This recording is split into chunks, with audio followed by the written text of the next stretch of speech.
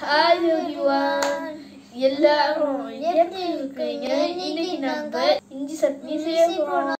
இட்லி தோசைக்கெல்லாம் சாப்பிட்டா சூப்பரா இருக்கும்.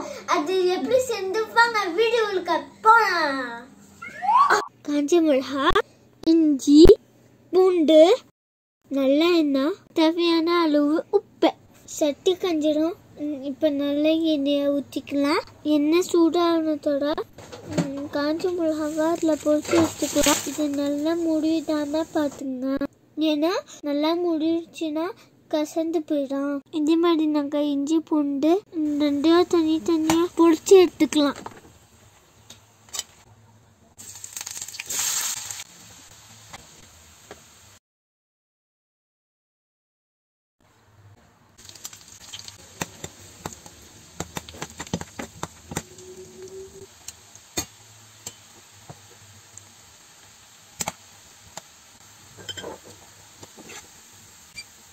இது கிளாஸ் பட்டல போட்டு கெட்டு போகாம நல்பதா வச்சுக்கலாம். இந்த எண்ணெயும் அரைச்சி எடுத்துக்கோங்க. இப்ப எல்லாம் அடிச்சு நம்ம மிக்சியில போட்டு அடிச்சுக்கலாம் அடிக்கும் போது உப்பையும் சத்துங்க அரைச்சி எடுக்கிறோம்ல நல்ல எண்ணெய். அதையும் இதுல கொஞ்சம் கொஞ்சமா ஆட் பண்ணி அரைச்சி எடுத்துக்கோங்க.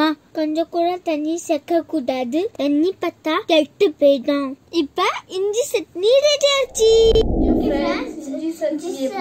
எப்படி நீங்களும் பண்ணிட்டு எப்படி கமெண்ட் சொல்லுங்க.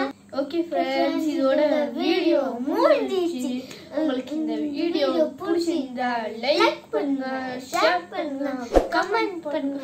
சப்ஸ்கிரைப் பண்ணுங்க பெல் பட்டனை அழுத்துங்க. உங்களுக்கு இந்த வீடியோ கண்டிப்பா பிடிக்கும். அஸ்லாம்